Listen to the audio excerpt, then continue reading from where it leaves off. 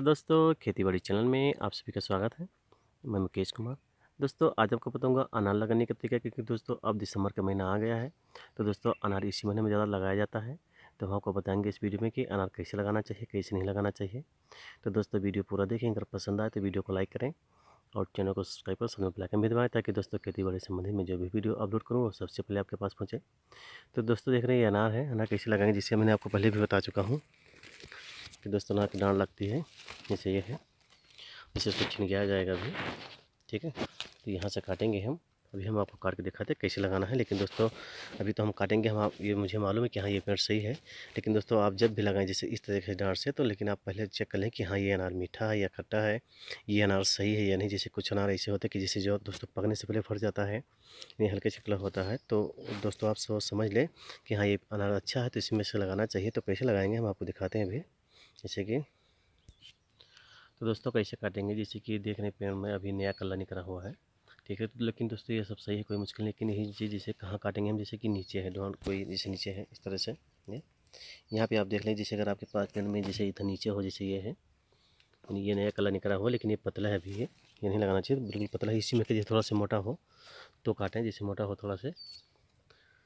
जैसे ये डाल अभी है, ये नीचे आ रही है तो कोई मुश्किल नहीं, इसके भी काट सकते हैं आप। मुश्किल नहीं है, लेकिन अगर जगह है जैसे बरकरार जगह चाहिए तो ना काटे, कोई दिक्कत नहीं, लेकिन वो डाल काटे कि जो मतलब फरने के लायक ना हो।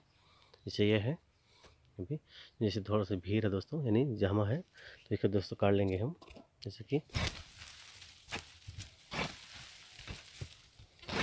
ये, ठीक है? अब इसको हम बिल्कुल बारी बारी करके आपको दिखाते कैसे काटते हैं, जैसे देखिए दोस्तों, मैंने अभी इसको काटा है, जैसे ये। इधर बिल्कुल भी सही है, लेकिन इधर का मोड़ा मैंने, इधर कुचिल दिया थोड़ा सा, इसको जुतरा कर दिया ठीक है, ये, ठीक है, इसको इसलिए करते हैं जैसे कि जैसे दोस्तों अभी हम लगाएँगे, जैसे जहाँ आपको लगाना है, जैसे इधर देख रहे थे मेरे पास इधर थोड़ा सा तो भीड़ है, लेकिन इधर मुझे लगाना है तो इधर जैसे हमको लगाना है, जैसे ये, ठीक है, कुछ करने की ज़रूरत इसमें नहीं है, बस इस तरीके से ये ठीक है इस तरीके से लगाना है। ठीक, अब इसमें हमको क्या करना, पानी डालना है, ताकि देखिए दोस्तों पूरा जमा हो गया फिर मट्टी बराबर हो गया है, ठीक है? ये मुश्किल नहीं है। अब हमको थोड़ा सीधा या इस साइड में देखना चाहिए, जैसे इधर थोड़ा देख रहा है ये। ये और इस साइड में, ठीक है? इसको हम क्यों भतरा जैसे लोग सोचते हैं क्यों भथोड़ दिए हैं ये? तो दोस्तों को भथोड़ इसलिए दिए हैं, जैसे इसमें हम मट्टी भी लगाएँगे भी, लगा दे रहे हैं। क्योंकि दोस्तों अभी जैसे कि आप सभी को पता है, इसमें जैसे धो नहीं होता दोस्तों, सिर्फ़ हवा चलती है।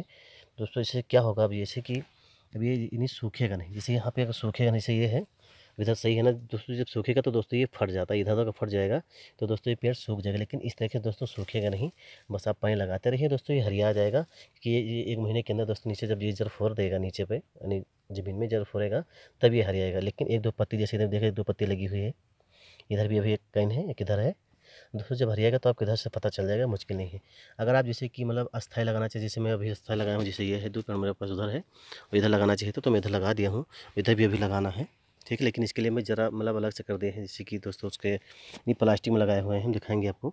ठीक है, प्लास्टिक में भी लगा दिए हैं और गड्ढा खोद के, जैसे अगर आपके पास प्लास्टिक नहीं है तो दोस्तों आप गड्ढा खोद लें जैसे कहीं पे, जैसे अगर इससे मिट्टी आप इस लगाए हैं इस तरह से आप गड्ढा कहीं खोद लें थोड़ा थोड़ा करके, उसमें आप लगा दें। दोस्तों जब हरिया आ जाएगा तो आप कहीं भी ले जा, लगा सकते हैं, मुश्किल नहीं है। लेकिन अगर आप इधर लगा देंगे दोस्तों, इस समय बहुत सही समय है समय आप लगा दें और दोस्तों बारिश जब आएगी तो आप उखाड़ के कहीं भी लगा सकते हैं, मुश्किल है बस मेन चीज़ इधर हरियाणा चाहिए, जैसे अभी मैं लगाया हूँ, आपको बताया हूँ कि सब लगाना है, जैसे इधर आप देख रहे हैं बिल्कुल साफ़ जगह इधर। इसको मैं भथोड़ दिया कि जिससे दोस्तों ये सूखेगा नहीं, हवा नहीं लगेगा तो फटेगा नहीं, ठीक है? नहीं दोस्तों, अगर इसको नहीं भथेंगे तो ये फट जाएगा तो फिर पेड़ नहीं हरियाएगा, ठीक है दोस्तों? तो अगर आप लगाना चाहते हैं ना तो दोस्तों इस तरह से लगाएँ। दोस्तों, हो सके तो कोई ज़रूरी नहीं कि पतला हो, आपके पास अगर डांड मोटी हो रही तो मोटी भी लगाएँ और इसको भी लगा सकते यहाँ से काट लें, यहाँ से भी काट लें और इधर से भी काट लें, मुश्किल नहीं है, यहाँ से काटें कि थोड़ा दुख पत्ती रहना चाहिए, हरा, बस कोई मुश्किल नहीं आप बहुत आराम से दोस्तों आप लगा सकते हैं अनार और दोस्तों, लगाने का, अनार लगाने का समय सबसे नंबर का इस समय चल रहा है। नंबर एक समय है दोस्तों, इस समय दिसंबर में, ठीक है दोस्तों? जो हम लगाए हैं, जो हरियाएगा तो हम आपको ज़रूर दिखाएँगे, ठीक है दोस्तों? और बिया भी लगाया जाता है, बिया का हम आपको दिखाए हैं पहले बिया भी लगा दिए, वो भी हरियाएगा तो हम आपको ज़रूर दिखाएँगे, ठीक है दोस्तों? तो आना लगाने का दोस्तों सबसे सही तरीका इस समय है, ठीक है दोस्तों? तो आज इतना ही, और मेरा वीडियो कैसे लगा मुझे बताएँ, फिर आपको मिलूँगा नेक्स्ट वीडियो में, जब तक के लिए, ओके, बाय।